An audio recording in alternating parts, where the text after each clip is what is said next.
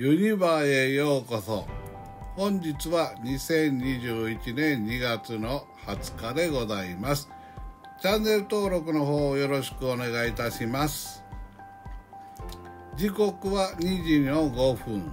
なぜこうやって時計を見せているかと言いますとですね今日からちょっとやりたいことがございましてえー、今まではワンカットワンカットドラマのように、まあ、あのテレビのように撮っておりましたが、えー、今流行りのですねジンバルを利用しまして、あのー、旅ロケのように撮ってみようかなと思い立っておって今日はそれを実行しております。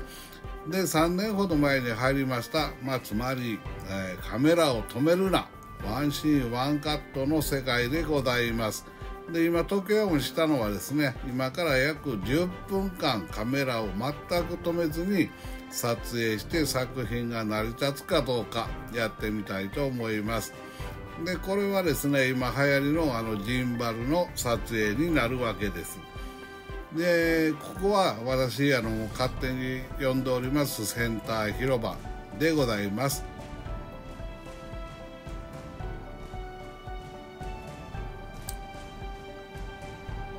で左側でがですね、えー、大きなグッズ売り場になっております。で今はマリオが大変多くなっております。で右側は、えー、一番手前がハリー・ポッターの売り場。でその横にはこの、えー、ポップコーン売り場がございます。えー、グッズ売り場の中を入ろうとしたんですけどもまああの今日はちょっとタイムが分かりませんのでまずまっすぐ行ってみようとちょっと目的がございまして。えー、っとセンターのど真ん中の道を堂々と歩いております。そうしますとあの必ずこの、えー、風船売りのお姉さんと出会います。これがね結構毎回毎回この風船が違うんです。凝ってるなと。で本日のはキティちゃんでしたね。うん。女の子にどうぞ。え？ー、やってるんですね。バイバイ。って可愛いですね女の子は。で、えー、次がスヌーピーとチャーリーの出迎え。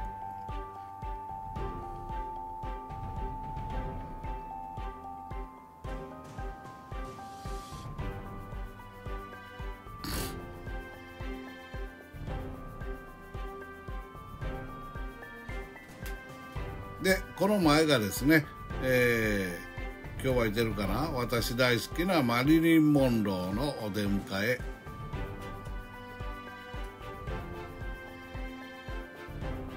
おいてましたいてました。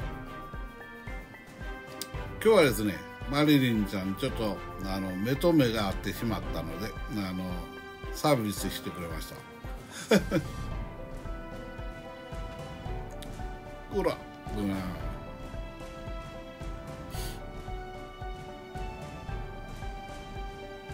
でこれから右側に進んでいきまして目的のところに行きます。でその前にいろいろあるんですけども、えー、ここの、えー、路地の入ったところにまたいつも通りキャラクターがいます。はい、えー、今日はキティちゃん。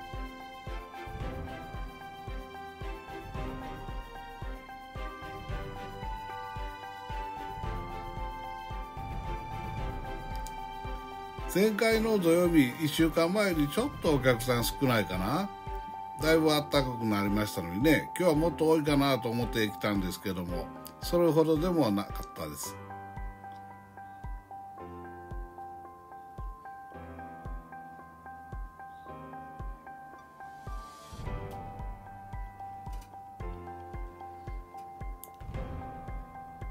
でですね昔の私あのカメラしてましたところはあのあの、えー、作品として作っておりましたのでね、えー、ワンカットの長さがだいたい4秒と言われました。4秒で短くもなく長くもなく。としますとですね60分のドラマなんかはですね本編が45分45分かけるあれですから675カットになります。675カットも取るんですか？と先輩に聞きましたら取れる取れる。実際は捨てカットなんかあるから800円取るぜって言われまして。で経験してみますとね結構早く撮れるもんです。800カットぐらい。もう撮ってることが楽しくて楽しくてね時間なんか忘れるぐらいですから。そんなんは全然苦になりませんでしたけども役者さんがですね4秒でこうどうやってセリフなんかカットしていくんですかまあそれはあの取っといて後にインサートを入れたりしてつないでいくねんけどもあのなんやったらうまい役者やったらリクエストしたら4秒ごとで区切ったらねしてくれるよとか言って「ええー、本当ですか?」とかで一番すごいのはやっぱり「オンリーやね」「オンリーって何ですか?」って言ったらねセリフの長いあの時なんかでも例えば外でロケしてますとヘリコプターの音とかねあの野犬が吠えたりして音声だけ使えなくなる時があります。そうしますとですね全てやり直すんではなくて役者さんにお願いしてオンリーと言いまして声だけください、ね、今やったことの芝居のトーンを全く変えずに秒数も変えずに声だけをくださいとお願いするわけです。だか分かりましたよと私ねこれを実際現場で見たことがあります。その時の役者さんが津川雅彦さん。あの青い三代の役者さんですね。えー、丸さんの女にも出ておりましたあの名優さん「はいはい」と言ってですねオンリー1分ほどの長セリフでしたけどもオンリーを見たことがございます。くりしましたね。こんなことができるんかと。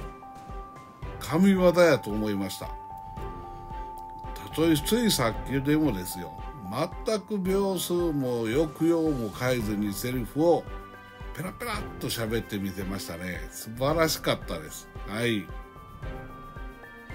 でそんなことを言っておりますとここはですねコカ・コーラの、えー、メインの、えー、カフェが見えてまいりました。大体これがセンターなんですけどね。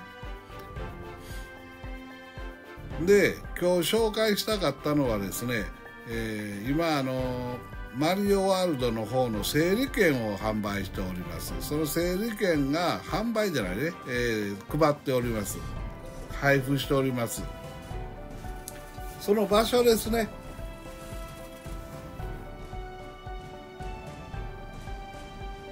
それがですねこの、えー、なんとかショーと、えー、コカ・コーラのこのカフェの前の、えーセンターの湖みたいなところ湖？あれは池ですかね。はい。とにかくそのほとりにね湖岸のほとりに設けてるところにございます。そこに向かって今歩いているわけでございます。これですね、えー、庭に入っていくような門が見えてきましてここを進んでいきます。でお姉さんがね今説明しています。こっちですよってみたいな感じでですね。でそうかなって右行きかけたんですけど 右ではございませんでした。左でした。おっとっとこの左ですね。ここですね。左側のここに整理券の販売の、えー、ATM みたいな並んでるところがございます。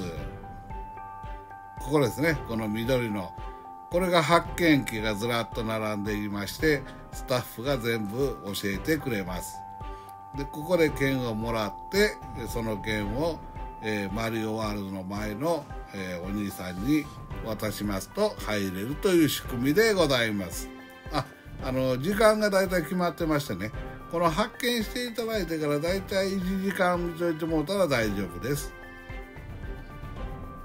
だから今発見した人たちは大体、えー、3時過ぎぐらいに入れる予定やと思います。で大体10分ぐらい経ちましたので今日はこれでおしまいとなります。ではまた。